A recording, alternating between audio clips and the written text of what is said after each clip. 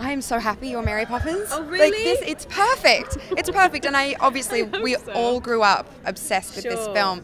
Did you feel any kind of pressure, or was there ever a moment you're like, oh, maybe I shouldn't? I mean, a bit of trepidation just because she's so iconic and an Mm-hmm. iconic actress played her, you know. So it's it's that idea of wanting to pay homage to what Julie did because nobody out Julie's Julie Andrews, you know. It's like nobody can do that.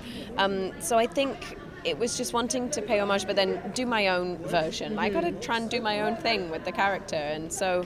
Um, I hope people like it and accept it, you know. They're gonna love it. This doesn't sound very Mary Poppins-ish, but I heard that you held Lin Mel uh, Manuel Maran up against a wall. a uh, story that I exaggerated, but just in order to get someone's number out of him. Yeah. Is that what you normally do? Like, Yeah, yeah, tell people- definitely. Okay, yeah. good, and it works. That's how Mary Poppins rolls, guys. All right. This is the new age Mary Poppins. She She's has a little bit of a gloves, and she, it's like more sinister. She has gloves and pins people against the wall until she gets what she wants. I can't wait to see this. She's magical. Thank you. Thank you. Congrats. Bye.